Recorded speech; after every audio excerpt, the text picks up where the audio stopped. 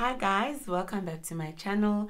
My name is Nolo Pududu and this is the secret life of my PhD where we talk all things productivity, motivation, education and high performance. So today we are going to talk about appreciating, respecting or enjoying the learning process. Okay, and I'm going to use an example to explain what I mean by that. So um i'm gonna use a child example because i have kids okay? I have a little baby and she's learning how to walk now. So any chance she gets this person she is like just trying to stand and she's always busy like always busy. And the worst part is she hasn't even want you to hold her when she's busy you know because she's in control you know she can control herself you know all 11 months of her. So she's learning how to walk learning how to stand and oh my goodness you know it's quite busy in the house and I think most of you know, I mean, you've been around babies. Most of us have been around babies. When they're at that stage of learning to walk, you cannot, you cannot contain them, you know? And what's interesting with babies when they learn to walk is I don't know how many times they fall. Like, like it's a daily bread for them. Like they stand and like they can fall 10 times in a day actually when they're learning how to walk.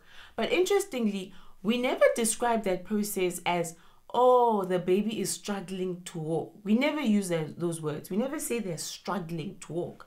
We always say they're learning to walk, right? But let's juxtapose it against us in our careers and our studies. Um, I remember with my master's, in the beginning, I had my proposal, you know, and it was really a proposal created that I felt like it had it could do a lot better, but I didn't have much faith in it anyway. But I had my proposal and it was doing a back and forth with my supervisor. He had all of these uh, improvements that he wanted to see and kept on giving me feedback. And yet, in that process, I would describe it as I was struggling with my proposal. I was struggling with my master's. I mean, even with my PhD, there has been times when I said, I'm really struggling with this thing. But um, when a baby is learning how to walk and they fall as many times as they do, we say that they're learning. So I think sometimes we miss it. Sometimes that's what we call the struggle is the learning process taking place. And I think one of the reasons for me personally why I identify it as a struggle is because I am taking my fresh product. Like if I take my PhD as it is right now, I take my PhD and then I go and compare it to published articles. I go and compare it. Um, so one of the things I have to do is actually read other PhDs that have been written, right? So I compare it to completed PhDs and I look at what I have and I look at what they've written and I'm like, oh my goodness, oh no, this is this is horrible, right? And then I, I'm struggling. I don't appreciate the fact that, that these people have put in years and hours and a back and forth between supervisor and lecturer, back and forth, back and forth until they finally got a good product. I believe that no, what I have, I don't see it beyond what it is right now. I compare my draft with somebody else's final product. Imagine if a baby did that. Imagine if we did that for our babies. If we looked at our babies learning to walk and then we see an adult walking without problems, running, and think, oh my goodness, this baby is struggling to walk. Like, oh my goodness, will it ever happen? No one thinks like that. But we do it in our own learning process. And when a baby falls, it's not comfortable for them.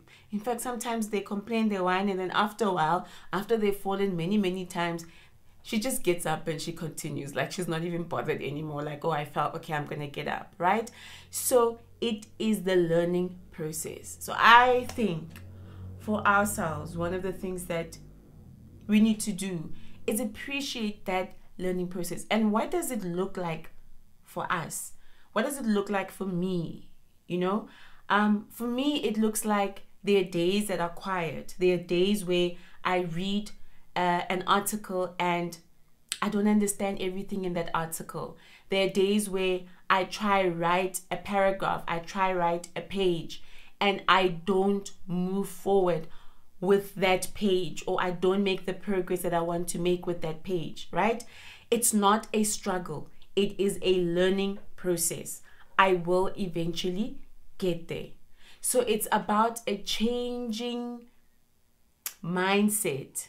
I'm using the word mindset again, but it is a changing mindset to appreciate that naturally right now it's not coming easy, but if I continue on this journey, I will get it right.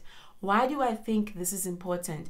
There are so many ideas that we have, not just in um, research. You know, now I'm not just talking to research students or masters or PhD students, just in general. We get so many ideas to do things, but a lot of the times we take our fresh idea, our newborn idea that is learning to walk, learning to breathe, learning to survive, we take it and we compare it to an established idea and we expect our idea to be the same as that idea. And what do we get? We get imposter syndrome. It's not because we're not good enough, it's because we're starting with something new. And when you're starting with something new, it takes time, it takes patience, it takes nourishment. So, today, I want us to respect the ideas that we have, to respect the new babies that we are raising in our lives. Give them time to grow, give them the nurturing they require. And on those slow days, where we fall, where we pause, where things are not making the sense that it needs to make or they need to make, we appreciate that it is the learning process. It's not a struggle, it's learning. Learning by its nature is not comfortable, it's not easy. But by seeing it as learning, I can say, oh, but it's okay that I'm feeling uncomfortable like this. I am actually growing while this is happening. So respect your idea, give it time, give it your patience, and watch it grow. I'll see you guys next week. Bye.